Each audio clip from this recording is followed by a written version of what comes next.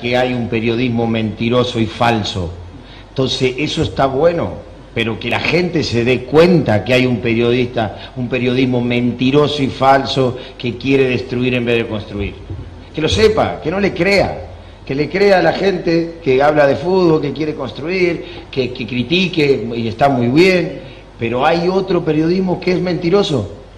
Se debe decir porque es mentiroso, porque han dicho muchas cosas que es mentira como ya lo han dicho durante dos meses y medio atrás de, mi persona, y yo lo voy a seguir diciendo, son mentirosos. Y